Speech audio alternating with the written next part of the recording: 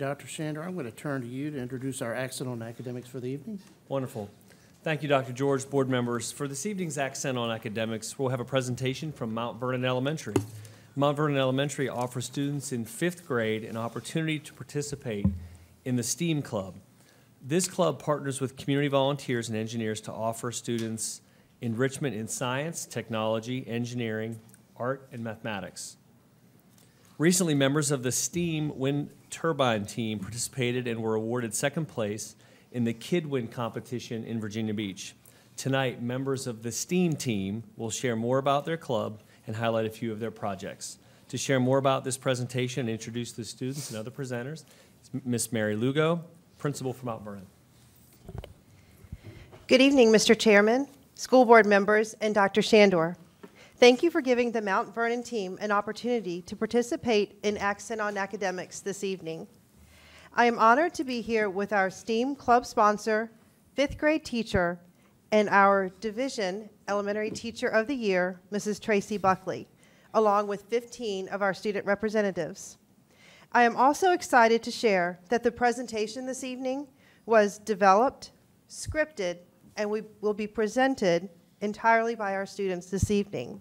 They do have a couple of extra guests that they will be adults they will be calling up. I would like to introduce our students at this time so that they can get in position for the presentation. At the podium and running the Prezi, we will have Jarek Kenzik and Josh Way. Speaking about our paper chair project will be Mallory Buckley, Jacoby Melton, and Lena Shandor. Speaking about the planter box project, we have Jack Bunting, Matthew Andrews, and Hugh Ellingsworth. And teaching you all about our wind turbine project will be Melanie Bertolet, Alice Fong, Kate Feist, Emma Chung, Shannon Myatt, and our Tabb Middle School volunteers, Daniel Taminger and Jakob Kold. At this time, I would like to welcome Mrs. Buckley to the podium to tell you a little bit about our STEAM Club.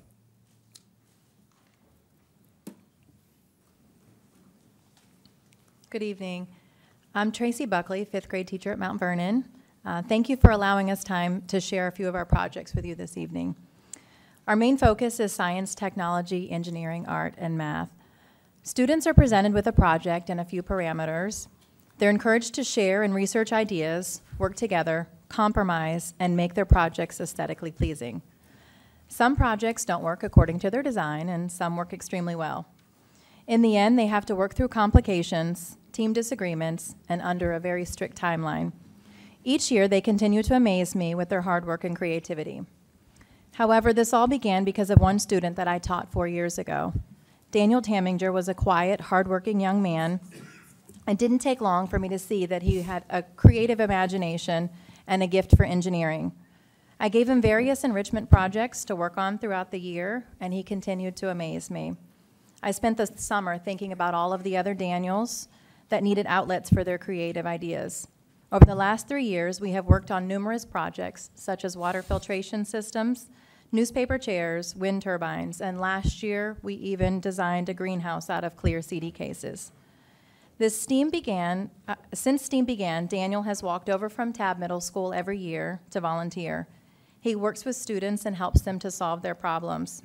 I could not do this without him, and he's a constant reminder to me of why I began this club in the first place. At this time, I would like to turn it over to the students and middle school volunteers so that they can present their projects to you along with the help of our parent volunteer and our outreach liaison. Thank you.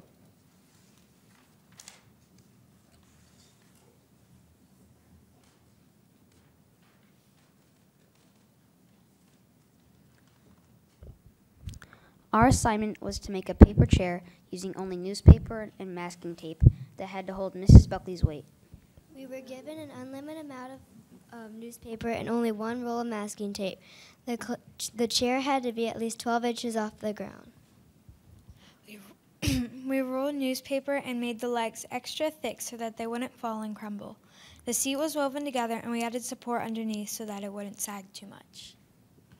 We decided to add braces between the legs to give it extra support all the way around. After we tested it out, we had Mrs. Buckley try it, and it was strong enough to hold her too.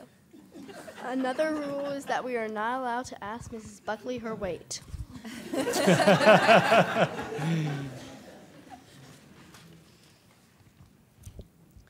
One of our other projects involves working with wood. This group will briefly explain how the project went. In the planter box project, we were split into small groups and given specific measurements from a set of plans to measure and cut. Parent volunteers used their miter saws to cut each piece. Once the wood was cut, we had to label each piece and send them to the sanding and staining areas. The labeled pieces were then collected, and each person took turns assembling them according to the plans. We ran into a problem with the side panels because their wood was about 16th of an inch too wide. Those fractions added up and the boards were overlapping. We had to figure out how to make, add a small liver, sliver of wood to all the side panels to extend just enough to make everything fit. The two assembled planter boxes will be auctioned off at our spring exhibition of student work night, and we raised $185 for future STEAM projects. We would like to thank Mr. Ellingsworth for volunteering every week to help us be successful. We are going to turn it over to him to say a few words. I'd like to start by saying how impressed I was with all the students. Uh, they had a real attention to detail and a desire to learn something new. Uh, as you heard, not everything went smoothly, but they didn't let the little bumps in the road uh, stop them. They were quick to come up with solutions and uh, fix them pretty quick. It made it a real joy to work with them, and I hope they had as much fun as I did. Uh, lastly, I'd like to thank Mrs. Buckley and Mrs. Lugo for having this opportunity available to the students that want to take advantage of it. Thank you.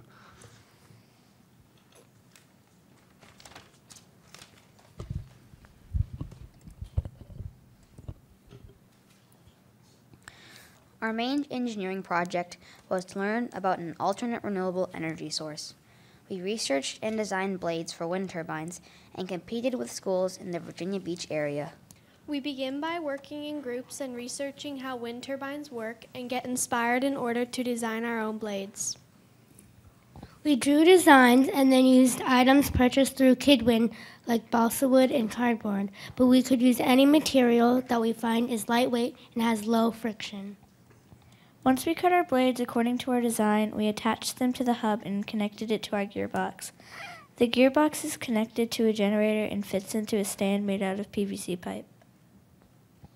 Last year, I made a um, wind tunnel that meets the specifications of the Kidwind wind tunnel. This year, we were able to purchase a LabQuest device because of money donated by the Society of American Military Engineers that calculates our potential and current energy. We were able to figure out our energy output a lot easier with this equipment. That data helps us to determine if we needed to change the pitch of our blades to reduce friction as we tried to improve our energy output. We recorded our data and took the best blade design from the girls' team and the boys' team to compete with in March. Our data was displayed for the judges on the presentation boards. Our teams competed in a middle school division, which is fourth through eighth grade, with eight other teams this year. The competition is based on performance, overall design, and documentation. The boys' team got a uh, teamwork award, and the girls' team placed second place, along with getting a judge's award. They were invited to compete in nationals in New Orleans this May. Both teams did much better this year, year than they ever have before, producing between 20 and 24 joules of energy. At this time, we would like to recognize the Society of American Military Engineers for their generous donation and volunteers that came to help us with our wind turbines. Mr. Jason Dodge and Colonel Jennifer, Jennifer Kilborn could not be here tonight, so I'd like to turn it over to, to Mrs. Rocco to speak on behalf of SAME. Good evening. SAME is a nonprofit professional engineer association headquartered in Alexandria, Virginia, with chapters worldwide. Our local post is called the Virginia Peninsula Post. And our post brings together those in architectural, engineering, and construction related fields to improve and increase the engineering capabilities of the nation and to exchange and advance the knowledge of engineering and construction technologies. And one of the ways we do this locally is by supporting our local communities through mentoring and volunteer opportunities. Um, and as they explained, that we actually were able to provide a couple of volunteers, and we were so excited to provide funds to help Mount Vernon Elementary um, STEAM Club purchase um, some of the equipment for their wind turbine competition. And we're so proud of what this local STEAM Club has accomplished. Thank you.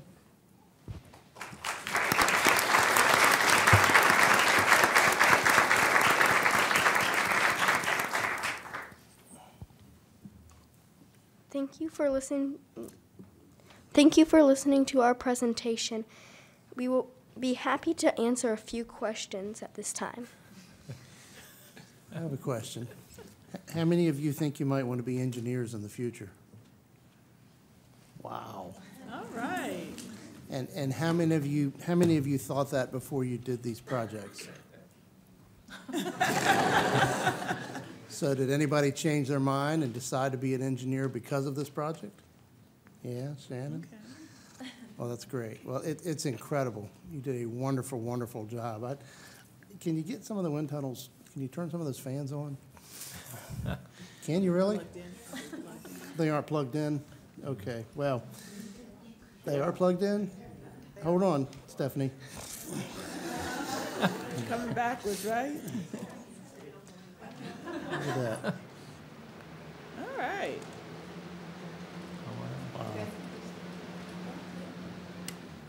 That's great. We're gonna, we're gonna put one to work here.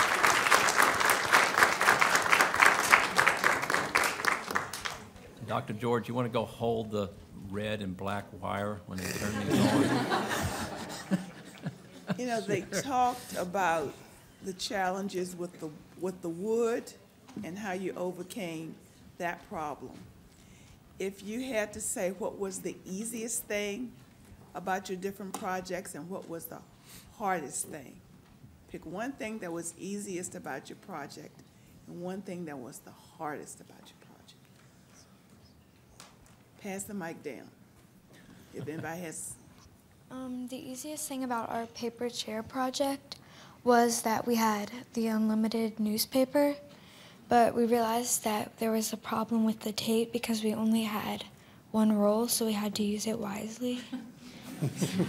And that was early on, you figured out you had to use it wisely, or halfway through. I think the easiest thing was probably figuring out how we wanted our chair to be. But the hardest thing was probably putting it together and working together and agreeing on how it would be put together. Okay.